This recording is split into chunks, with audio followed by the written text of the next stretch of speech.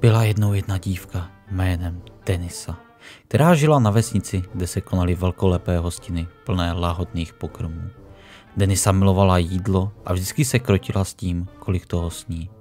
Jednoho dne, když vesnice slavila konec klizně, přistoupil k Denise starý mudrc a řekl jí Deniso, jídlo je dar, kterým bychom neměli plítvat.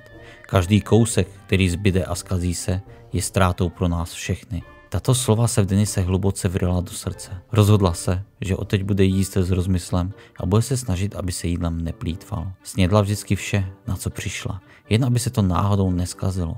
Pokud na hostině něco zbylo, Denisa to dojedla, aby se dar života nevyhodil. Byla pyšná sama na sebe, i když se její postava postupem času změnila. Čím víc byla větší, tím produkovala více metanu, což má za následek zvýšení emisí skleníkových plynů. Krávy a jiný přežvíkavý dobytek produkují metan během trávicího procesu zvaného enterická fermentace. Metan je silný skleníkový plyn. Jehož schopnost zachytávat teplo v atmosféře je mnohonásobně vyšší než u oxidu uhličitého v krátkodobém časovém horizontu.